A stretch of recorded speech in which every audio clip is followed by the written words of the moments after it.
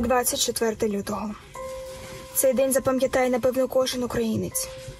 Коли ми всі підскочили зі свого ліжка під слова Прокидайся, почалася війна.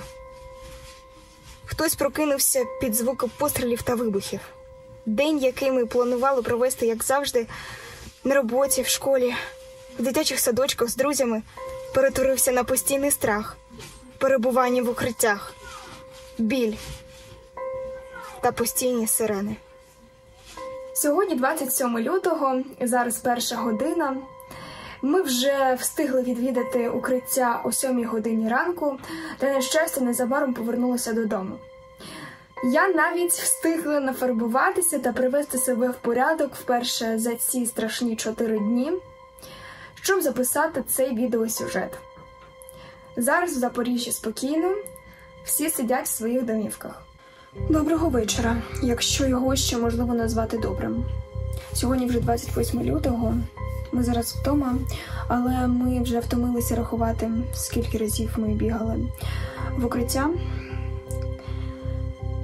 Я хочу сказати, що нам дуже страшно. І я не розумію однієї речі, в чому винні мирні люди, чому діти повинні це бачити, і чи ми заслуговуємо того, щоб очікувати своєї смерті. Ні. Ні одна людина в світі не заслуговує на це. Я молюся, щоб мені подзвонив мій дідусь, який зараз знаходиться в Гостомелі під страшнішими обстрілами. Мій батько в Терабороні. Вона всередині.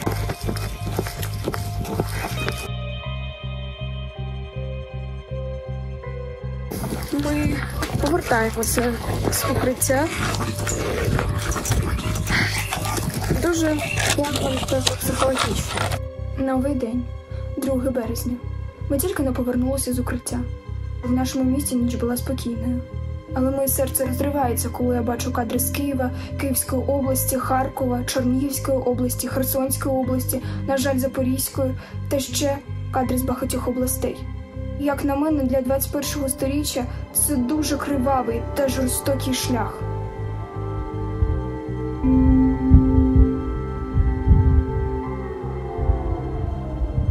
Я прошу, зупиніть війну.